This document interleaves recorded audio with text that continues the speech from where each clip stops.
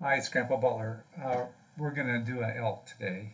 We've already drawn the outline. After several pencil sketches, we eventually got down to about the right outline of what an elk would look like, and this is it. Uh, and then what we're going to do is the elk uh, hims himself with uh, these Van Dyke browns, a yellow, uh, indigo blue for the forehead, and a little bit of uh, English red.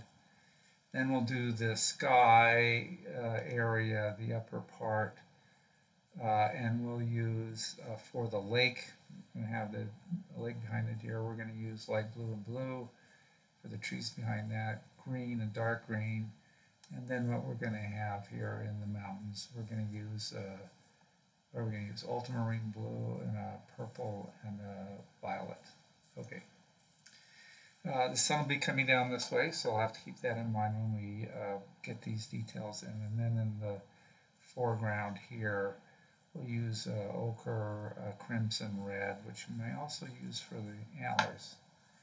A, a, dark green for the grass, and for the ground here, we'll use this cinnamon and uh, and the ochre together and see what we get, and with the rocks. Okay, that's kind of the plan here. So let's uh, let's get going with our with our elk here, and I want to put in. You know what I should do here is a little bit of blue here, uh, and then uh, what I probably need to do is the uh, antlers here. So I like the yellow here because that'll be a nice contrast with the kinds of reds and blues behind it. That'll be the mountains. And uh, I'll have to see how far I put the trees up when we do those in.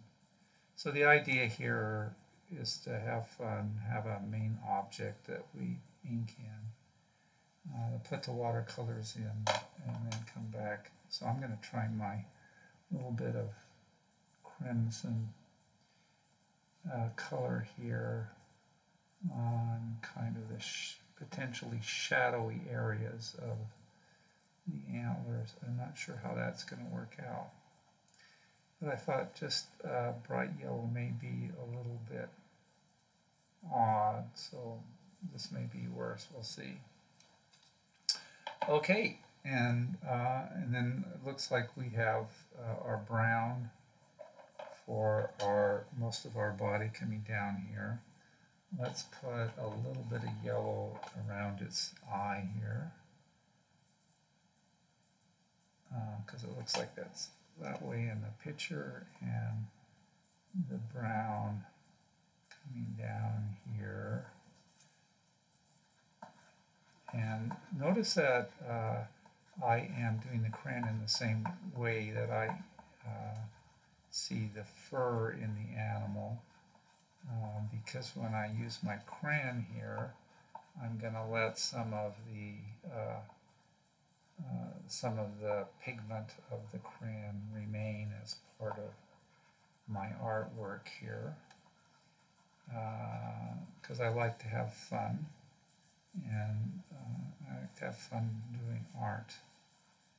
And I don't want to, but I don't want to spend all day on these. I want to be more expressive. Okay.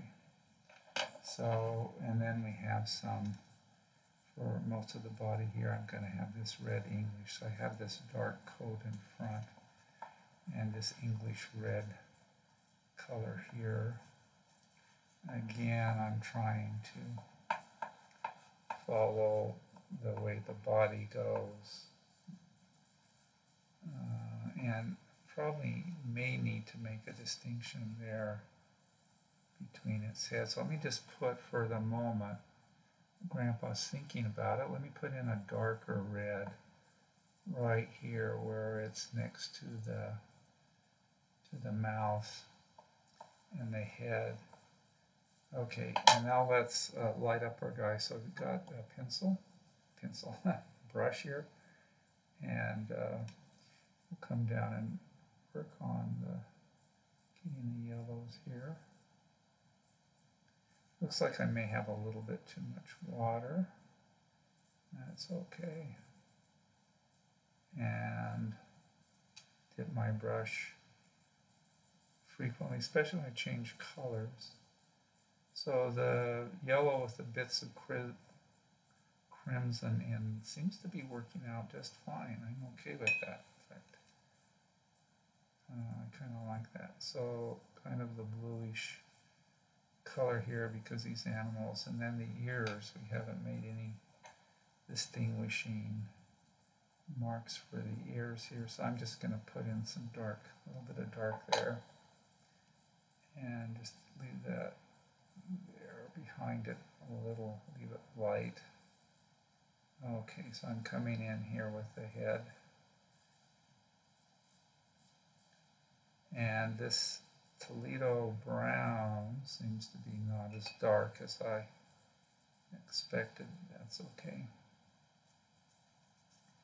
We'll have to see it. Every one of these watercolors is a kind of new experience for combination is a new experience for Grandpa. Uh, and as you will see, we do all of this in kind of one take. That is one pass of the watercolor brushes and crayons and other things that are being employed here. So I like those combination of colors so far. What if I got my Toledo brown though while this was still a little bit that's not too wet, is it? Worked it in a little bit more here and there. I like that better. I think maybe I did. It's like a rough coat there. I like that. I'll just leave that crayon, crayon finish there, and then I'll come down and get uh, get the legs here. Okay, I'm okay with that. fact, on the picture the underside of the mouth is a little bit, uh, a little bit uh, whitish, so I'm good. Uh, and a little bit too much water in there. So, okay, what next game? Uh, let's do let's do the uh, tree on on the opposite bank and then we'll do the maybe the waters in the mountain. So I'm going to have a bunch of pine trees, or maybe these are firs, maybe even some spruces. I'm thinking uh, uh, some fir trees, some Douglas firs or white firs or whatever you have in your territory. So this is my, dark green. I'm doing here. I'm kind of establishing. One thing I don't want to do is I don't want to be like too symmetrical as I go from tree to tree. Okay, and so I don't want to have them exactly evenly spaced. I have a lighter green here. I'm going to bring in here on the trees and mostly do it on the one side, a little bit in the background here and there too. Okay, maybe a background light green tree there and there and in here. Um, so we don't want to spend my girlfriend of 50 years and wife of 49 years has reminded me that you don't want to spend all day on trees or any one specific kind of in the background. So with her urging and her noting this important truth about trees and life and having fun while you do this. Uh, there we go. There's our trees in. Now, uh, our lakes, only, I think before I do the lakes, I'll just do the bottom of the tree so they kind of be drying off before I do the lakes and hence Uh, I won't be mixing the colors as, I, uh, as much as I might otherwise do. So I'll bring this back, a little bit of brush, and uh, I'm working left to right and letting these colors blend, not trying to get rid of the pigment, but leaving the pigment in there as part of the tree. Grandpa's hand's shaking a little bit. It's a neuropathy. So let's see if we can give him some more support here. And that shakiness, wow, it's working good for the tree thing, isn't it? Uh, I find that doing these watercolors not only fun, but I find it helps with my neuropathy a bit. So that's kind of nice too. Economies of scope. Okay, so here we go here. And now we got our trees in.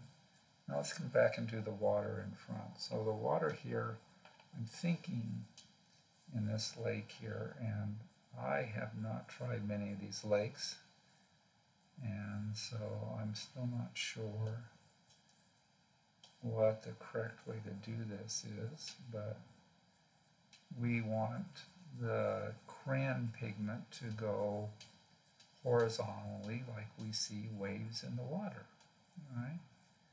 If we're going to imagine this is a lake here, and again, don't want to spend too much time because it's a background element. Uh, we also want to stroke that with our pen that way. So that's our lighter blue. Let's do our dark, put a little bit of dark blue in here and be kind of a little bit more careful. Make these lines of, of lake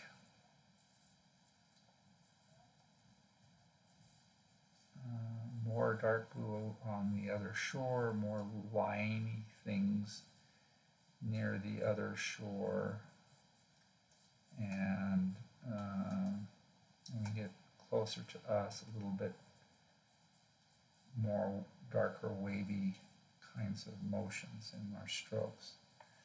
Okay, I'm willing to try that out. Let's see how we, how we did here.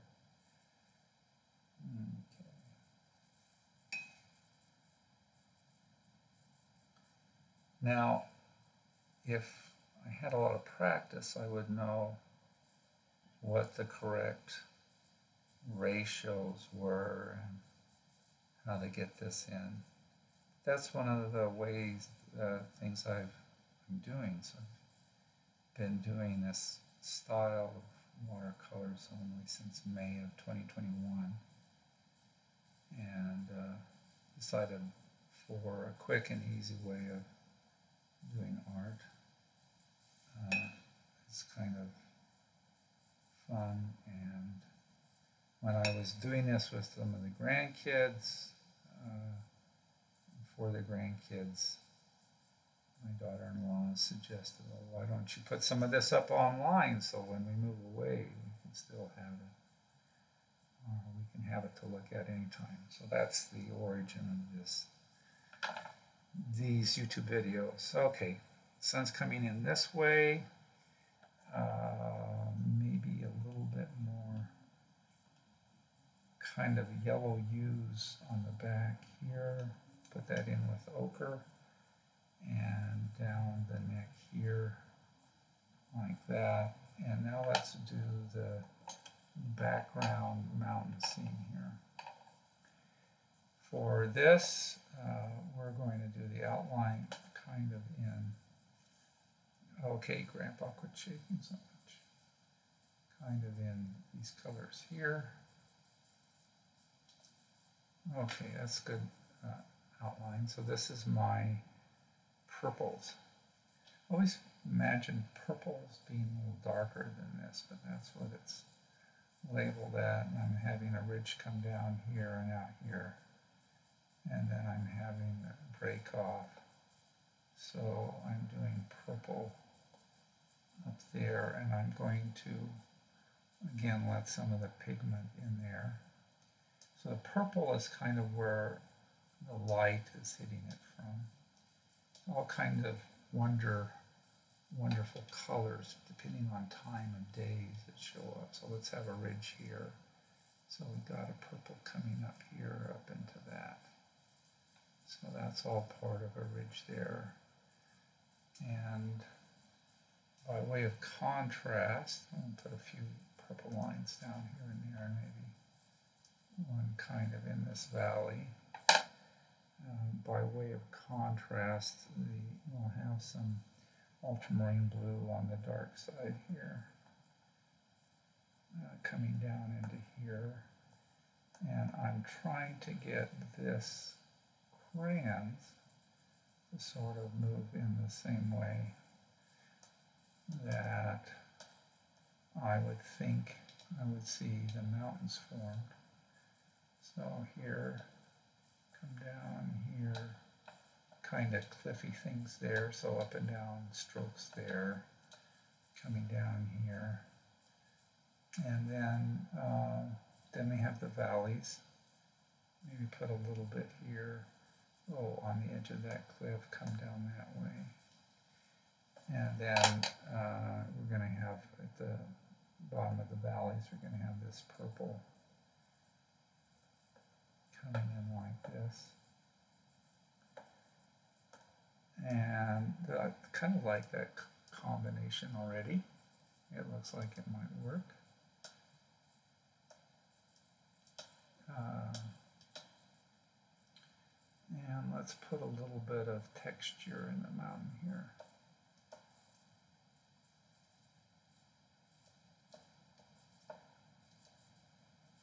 And uh, again, I'm planning on leaving some pigment behind, so that's going to help define our mountains here. Okay, let's try and lighten that up. And then we have the foreground. So, um, thank you for watching. If any particular animal you want to see done here in this style, let me know and we'll, we'll try and do it. Um, we have got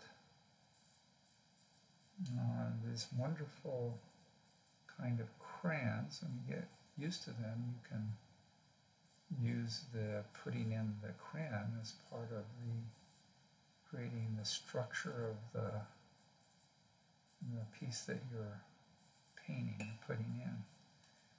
So since this is in real time, the thing I have to watch out is putting my little pinky into some wet area I'm working back around that I have been away from.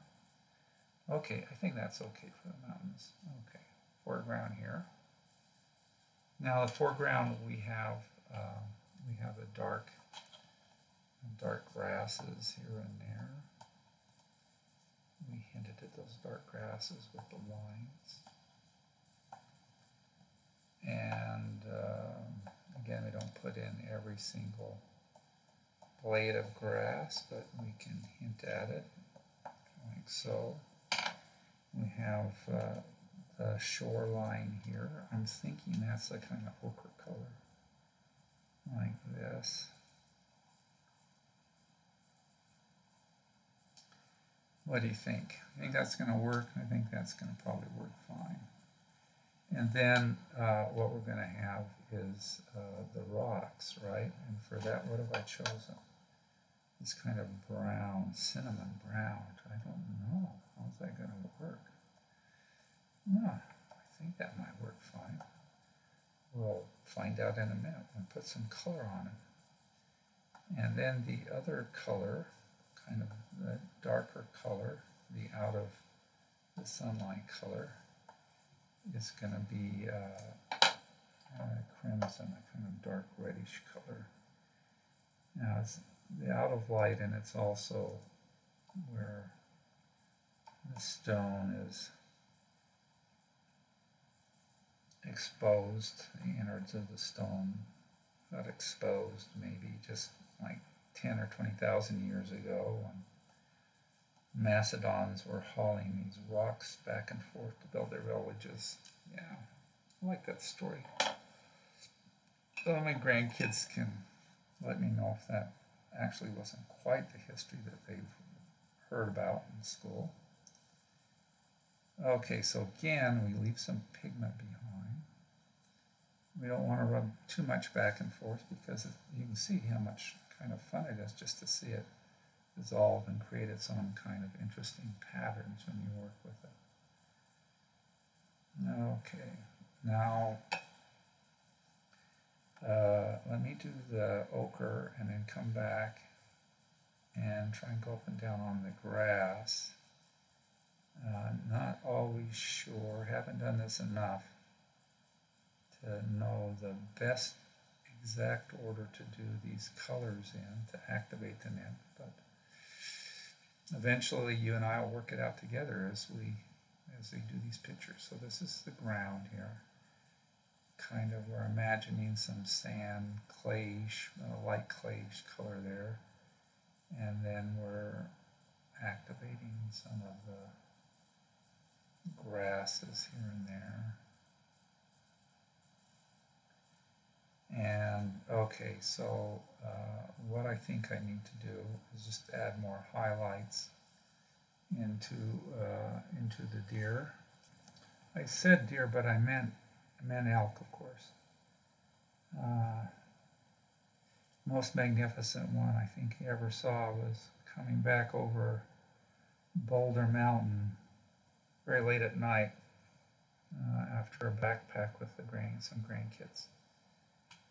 Magnificent animal just standing on the hillside watching us. But I think I think I'm okay with that.